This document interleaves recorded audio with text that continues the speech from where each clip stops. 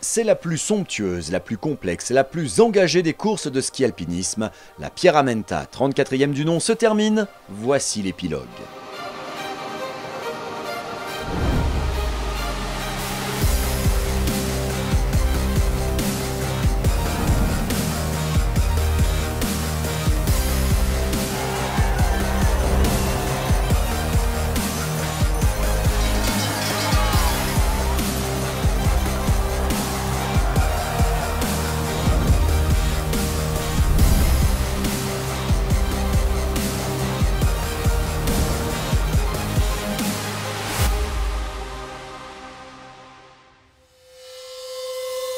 Mythique comme d'habitude, puisqu'on a fait trois jours avec du brouillard, de la neige, de la pluie, euh, il faisait froid. J'ai vu que des sourires et ça c'est très très important.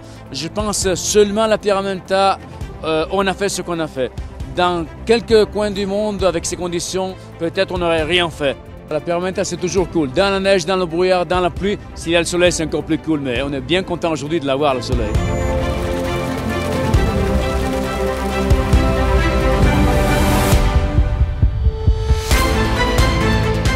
Après trois journées mouvementées à bien des sens du terme, voici venu le dernier tour de piste en Beaufortin pour les 200 et quelques équipes seniors et les équipes de juniors et cadets les ayant rejoints. Dernier jour, dernier branle-bas de combat.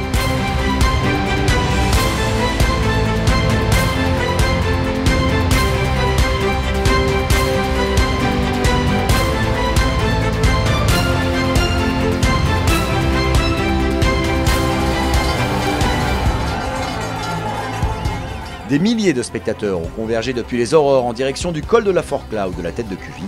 Les cieux sont redevenus cléments, une météo de rêve dans un décor de rêve en Waterns.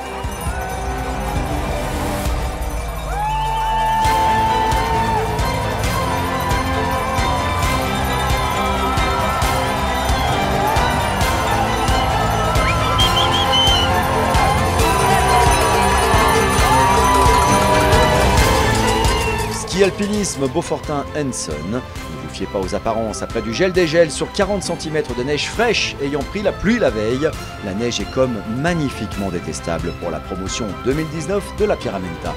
On sent toute la difficulté à skier un truc pareil.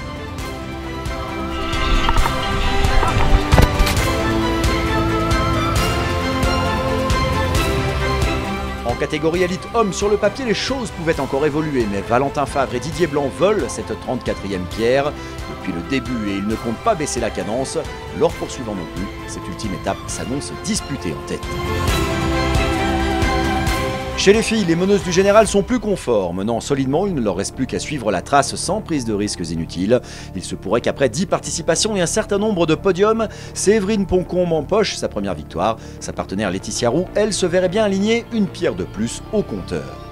Après une dernière et éprouvante descente arrive la libération par la victoire. Pour Valentin Favre, deux fois troisième par le passé, c'est fait. Pour Didier Blanc, c'est sa seconde pierre après une victoire avec Kylian Jornet au début des années 2010. Un duo qui a prouvé sa détermination et sa parfaite entente. Le rêve est devenu réalité. Ça fait 15 fois que je viens.